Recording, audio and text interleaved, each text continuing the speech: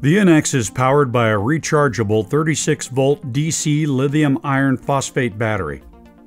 The battery is installed under the patient surface behind the display.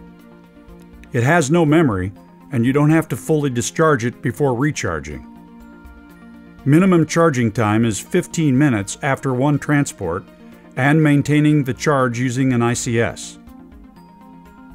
Maximum charging time is 1 hour and 45 minutes using the AC battery charger with a depleted battery. Actual charging time varies based on frequency of recharge, depth of discharge, and battery age.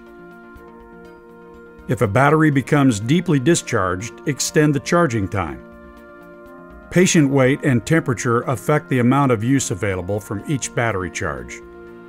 Check the NX battery level by looking at the battery status icon on the lower right corner of the display. The battery icon represents the remaining charge in the battery. A lightning bolt indicates charging is in progress. Green means the battery is fully charged. Yellow means a moderate charge remains, and red indicates a low charge remains. When a low charge is present, one third of the indicator will be steady red. If the icon is flashing between an empty battery outline and a full red battery, the charge is depleted.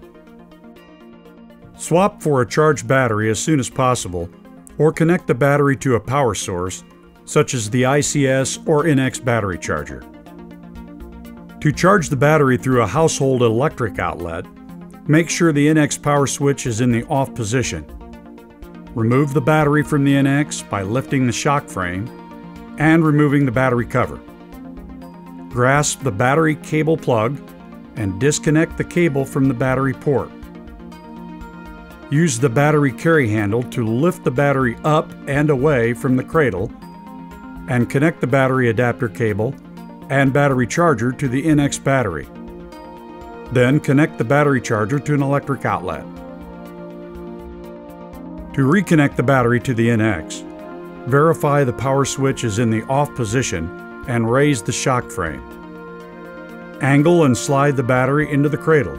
Press down to secure the battery in the cradle. Connect the battery cable plug to the battery port.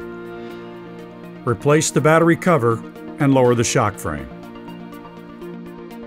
When the NX is secured into an Integrated Charging System Fastener, or ICS for short, with supplied power, it will disable powered operation of the NX and provide ongoing battery charging. First, make sure the ICS has power through the ambulance ignition system, inverter, shoreline, or outlet switch. Then, simply secure the NX in the fastening system and the battery will begin charging.